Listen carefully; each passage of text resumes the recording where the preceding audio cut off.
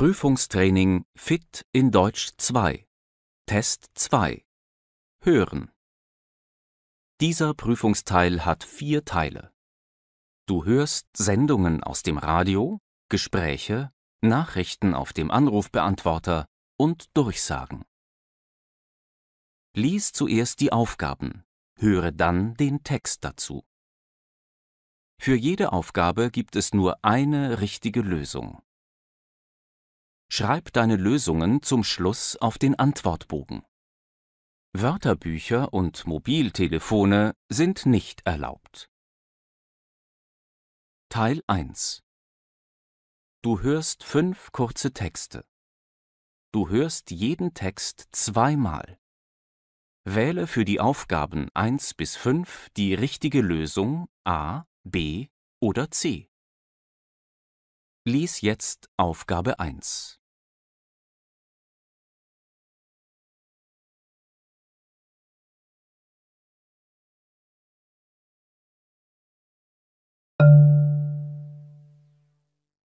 Liebe Zoobesucher, verpassen Sie nicht die heutige Flugschau. Um drei dürfen vier unserer größten Vögel frei fliegen und Ihnen zeigen, was sie durch viel Training mit unseren Mitarbeitern gelernt haben.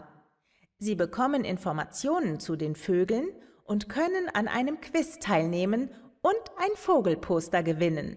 Eintrittspreise Kinder gratis, Erwachsene 3 Euro. Du hörst jetzt den Text noch einmal. Liebe Zoobesucher, verpassen Sie nicht die heutige Flugschau. Um drei dürfen vier unserer größten Vögel frei fliegen und Ihnen zeigen, was sie durch viel Training mit unseren Mitarbeitern gelernt haben. Sie bekommen Informationen zu den Vögeln und können an einem Quiz teilnehmen und ein Vogelposter gewinnen.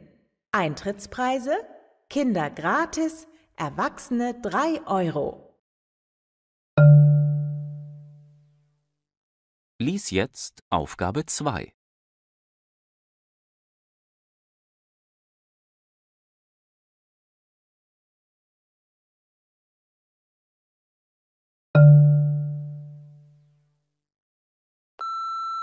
Hallo Mama, ich weiß, dass ich eigentlich um 19 Uhr zu Hause sein muss, aber wir haben gerade so viel Spaß hier bei Emil. Wir wollten alle zusammen noch das Fußballspiel sehen, das gleich beginnt. Und Pizza gibt es auch. Emils Papa backt die beste Pizza der Welt. Ist es in Ordnung, wenn ich noch ein bisschen bleibe? Emils Mama bringt mich dann mit dem Auto nach Hause. Du hörst jetzt den Text noch einmal. Hallo Mama, ich weiß, dass ich eigentlich um 19 Uhr zu Hause sein muss, aber wir haben gerade so viel Spaß hier bei Emil. Wir wollten alle zusammen noch das Fußballspiel sehen, das gleich beginnt. Und Pizza gibt es auch. Emils Papa backt die beste Pizza der Welt. Ist es in Ordnung, wenn ich noch ein bisschen bleibe? Emils Mama bringt mich dann mit dem Auto nach Hause.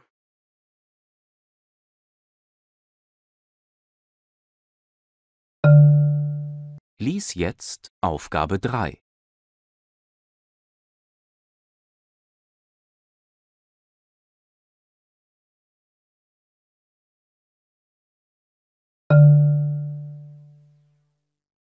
Und jetzt zu den Nachrichten. In der Erdinger Straße in Aschheim ereignete sich heute Morgen ein Unfall, als ein Motorrad gegen ein Auto fuhr. Vier Personen wurden verletzt, zwei davon schwer. Der 23-jährige Motorradfahrer und der 70-jährige Fahrer des Pkw sowie zwei weitere Personen wurden ins Krankenhaus gebracht. Die Erdinger Straße bleibt noch eine Stunde gesperrt. Du hörst jetzt den Text noch einmal. Und jetzt zu den Nachrichten. In der Erdinger Straße in Aschheim ereignete sich heute Morgen ein Unfall, als ein Motorrad gegen ein Auto fuhr. Vier Personen wurden verletzt, zwei davon schwer. Der 23-jährige Motorradfahrer und der 70-jährige Fahrer des Pkw sowie zwei weitere Personen wurden ins Krankenhaus gebracht. Die Erdinger Straße bleibt noch eine Stunde gesperrt. Lies jetzt Aufgabe 4.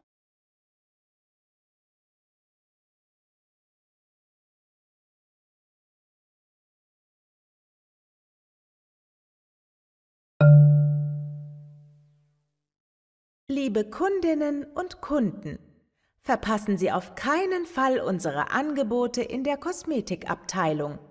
Nur für kurze Zeit bekommen Sie alle Gesichts- und Augencremes zum halben Preis. Nur bei uns. Günstiger geht nicht. Große Auswahl an Gesichtscremes auch für Männer. Außerdem bekommen Sie nur heute alle Kosmetikprodukte für Kinder mit 10% Rabatt. Du hörst jetzt den Text noch einmal. Liebe Kundinnen und Kunden, verpassen Sie auf keinen Fall unsere Angebote in der Kosmetikabteilung. Nur für kurze Zeit bekommen Sie alle Gesichts- und Augencremes zum halben Preis. Nur bei uns. Günstiger geht nicht. Große Auswahl an Gesichtscremes auch für Männer. Außerdem bekommen Sie nur heute alle Kosmetikprodukte für Kinder mit 10% Rabatt. Lies jetzt Aufgabe 5.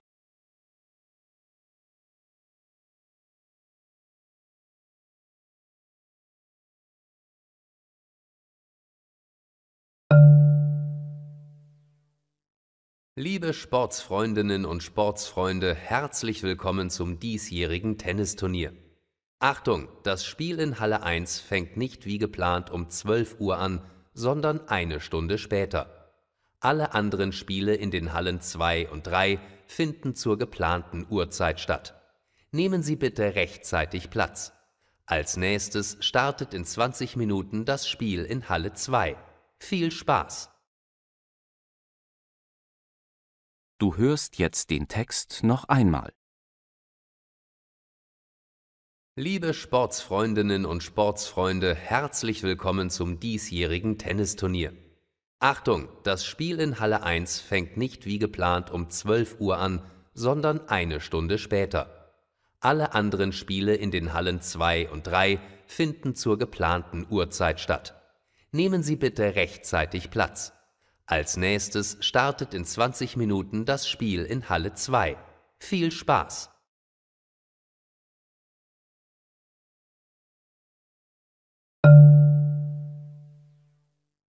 Ende Teil 1. Teil 2. Du hörst ein Gespräch. Du hörst den Text einmal. Warum waren Elli, Johann und ihre Freunde letzte Woche nicht im Schulkonzert? Wähle für die Aufgaben 6 bis 10 ein passendes Bild aus A bis I. Wähle jeden Buchstaben nur einmal. Sieh dir jetzt die Bilder an.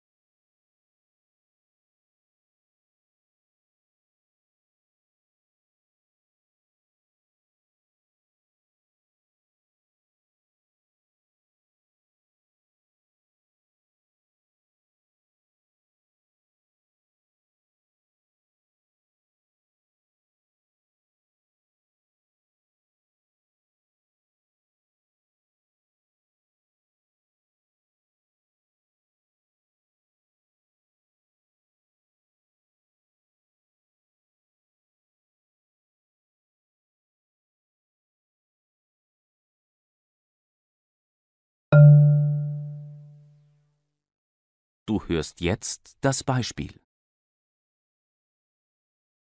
Hey, Elli. Na, wie geht's? Wie war das Schulkonzert am Samstag? Hi Johann. Du, keine Ahnung. Ich bin nicht hingegangen, denn ich hatte am Samstag Fieber und bin zu Hause geblieben.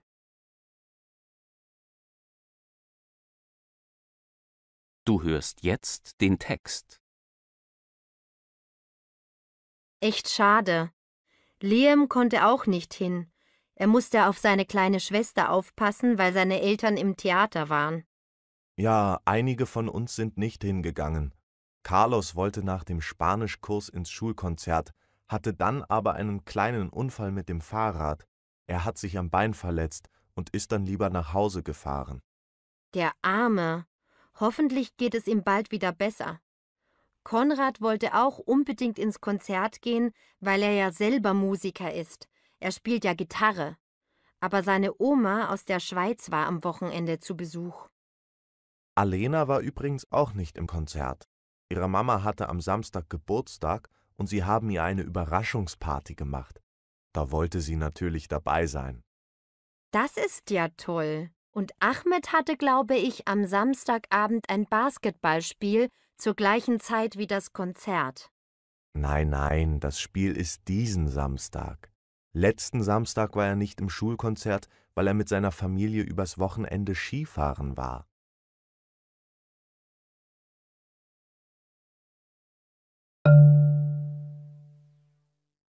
Ende Teil 2 Teil 3 Du hörst fünf kurze Gespräche. Du hörst jeden Text einmal. Wähle für die Aufgaben 11 bis 15 die richtige Lösung A, B oder C. Lies jetzt Aufgabe 11.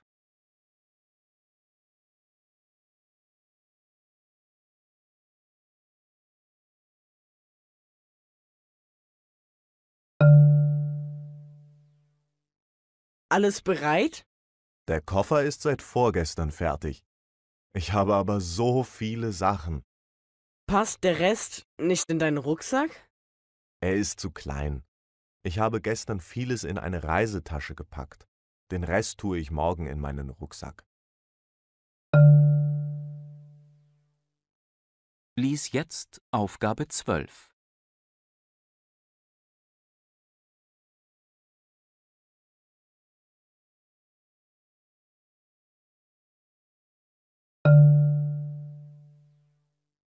Du, Miriam hat in zehn Tagen Geburtstag. Wollen wir ihr zusammen etwas schicken? Wir könnten ihr zusammen einen Brief schreiben. Aber nein, vielleicht etwas Besonderes, zum Beispiel ein Paket mit verschiedenen kleinen schönen Sachen. Dafür haben wir nicht genug Zeit. Warum nicht einfach eine Geburtstagskarte? Wir haben doch zehn Tage vor uns. Über ein Paket freut sie sich am meisten. Na gut.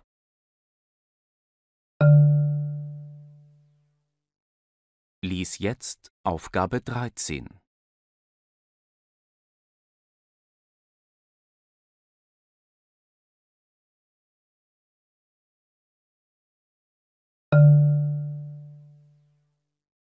Oh nein, es ist schon zehn Uhr und die Wäsche ist noch in der Waschmaschine.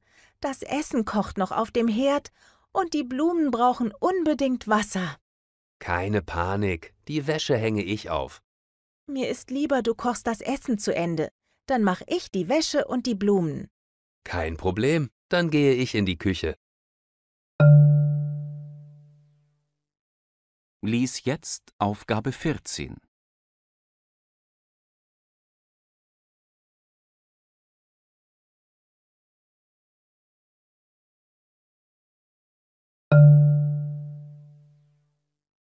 Mist, mir fehlen verschiedene Sachen für diese blöde Bastelei morgen im Kunstunterricht. Was hast du denn nicht dabei? Ich kann dir Buntstifte leihen. Ich habe sehr viele. Danke, aber Buntstifte habe ich genug. Alles andere fehlt mir. Schau, ich habe zwei Scheren. Hier, nimm eine. Blaues Papier haben sicher nicht alle. Frau Schütz bringt morgen bestimmt welches mit. Lies jetzt Aufgabe 15.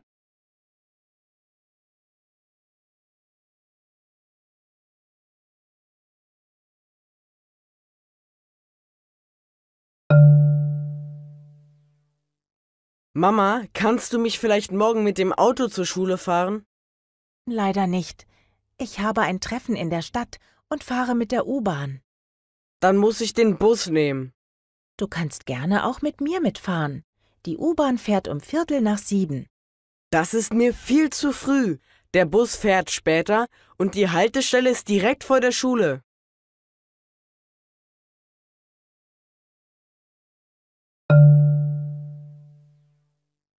Ende Teil 3 Teil 4 Du hörst ein Interview. Du hörst den Text zweimal. Wähle für die Aufgaben 16 bis 20 Ja oder Nein. Lies jetzt die Aufgaben.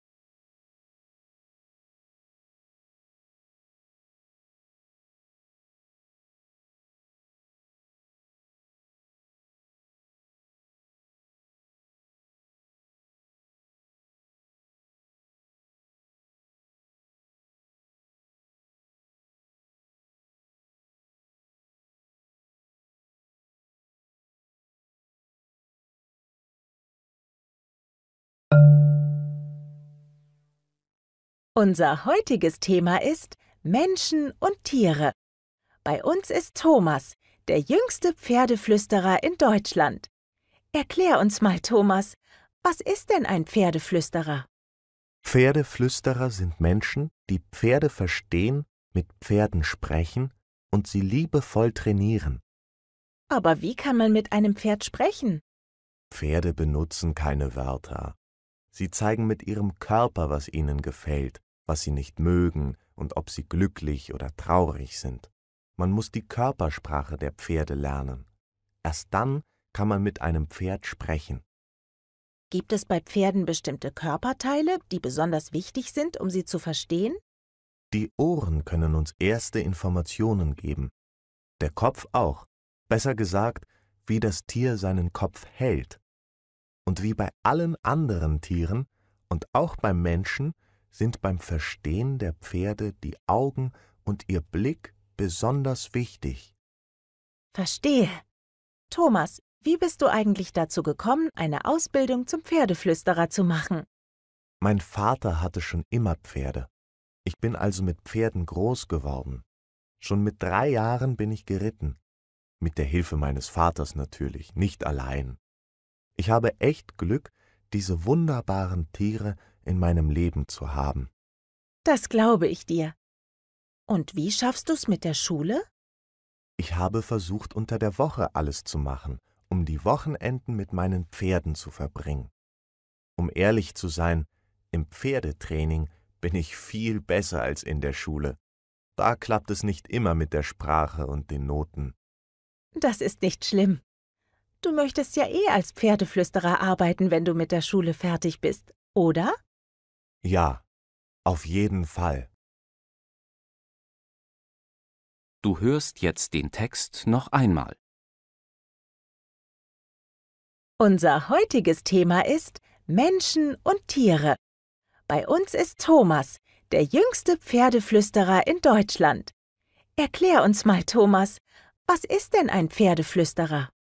Pferdeflüsterer sind Menschen, die Pferde verstehen, mit Pferden sprechen und sie liebevoll trainieren. Aber wie kann man mit einem Pferd sprechen? Pferde benutzen keine Wörter. Sie zeigen mit ihrem Körper, was ihnen gefällt, was sie nicht mögen und ob sie glücklich oder traurig sind. Man muss die Körpersprache der Pferde lernen. Erst dann kann man mit einem Pferd sprechen. Gibt es bei Pferden bestimmte Körperteile, die besonders wichtig sind, um sie zu verstehen? Die Ohren können uns erste Informationen geben. Der Kopf auch. Besser gesagt, wie das Tier seinen Kopf hält. Und wie bei allen anderen Tieren und auch beim Menschen sind beim Verstehen der Pferde die Augen und ihr Blick besonders wichtig. Verstehe.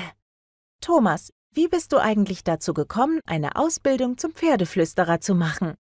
Mein Vater hatte schon immer Pferde. Ich bin also mit Pferden groß geworden. Schon mit drei Jahren bin ich geritten.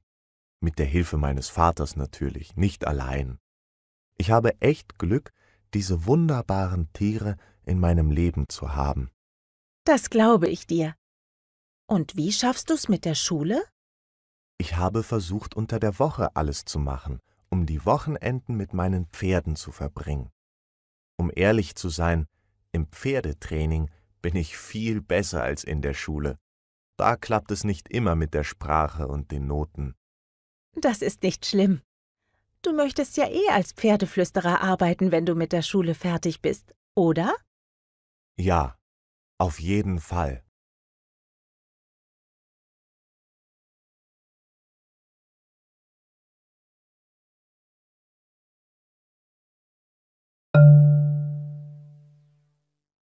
Ende Teil 4